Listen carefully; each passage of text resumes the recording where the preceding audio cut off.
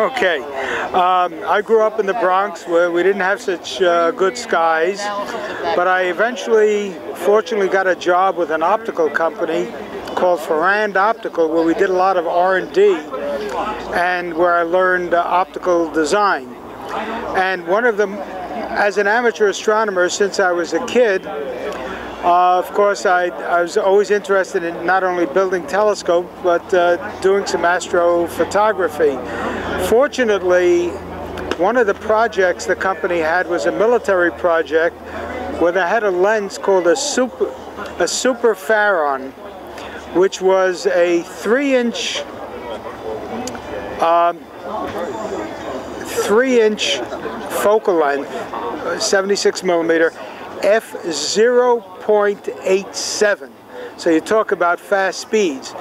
Well, it occurred to me as an amateur astronomer that that would make a very interesting photographic lens beyond surveillance and other uses.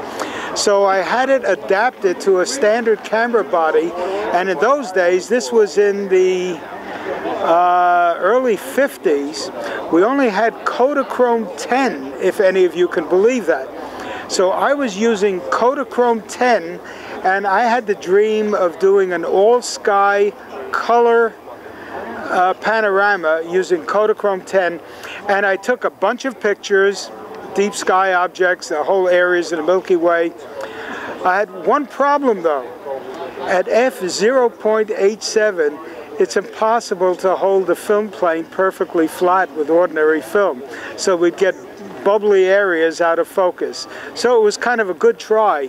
I did, though, have the chance to visit Mount Palomar, where uh, William Miller did the first great color astrophotography with the 48-inch Schmidt at Mount Palomar, and I had the opportunity to show him what I was doing with a little f 0.87 camera on wide angle color photography.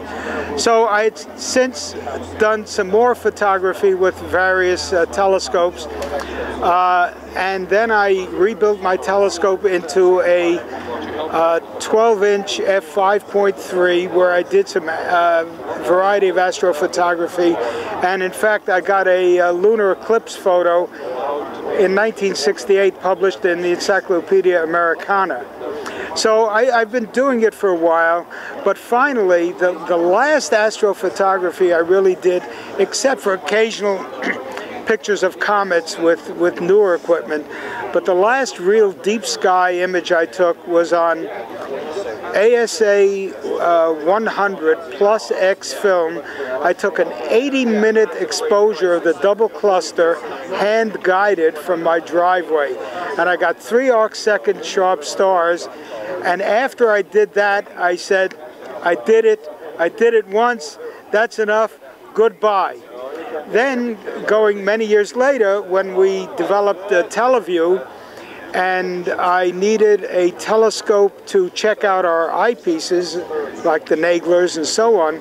I designed and built and patented our Petzval telescope, which was a 5-inch f4 with an iris diaphragm.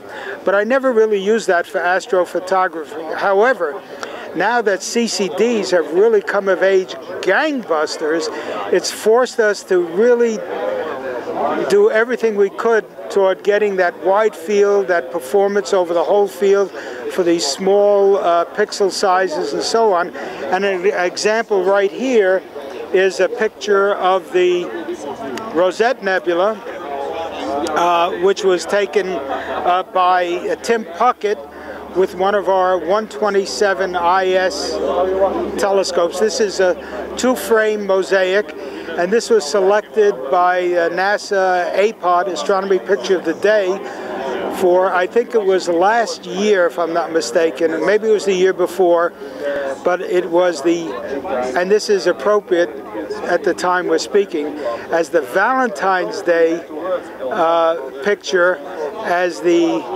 uh, the great uh, what do they call it? The long stem rosette for Valentine's Day. So the whole idea is my interest is to have instruments that are at the state of the art, both visually, for wide angle, travel, high power planetary, and imaging at the same time. And if we move, move over here, I can show you a prototype of the next production run of the 127 IS. So we happen to, of course, set up visually for the daytime with a Bino Vue, but this is the 127 IS, the same instrument that took the previous, the picture you saw of the uh, rosette. So if anybody is interested and they have any questions, we have a lot of stuff on our website, including the complete manuals of all of our instruments.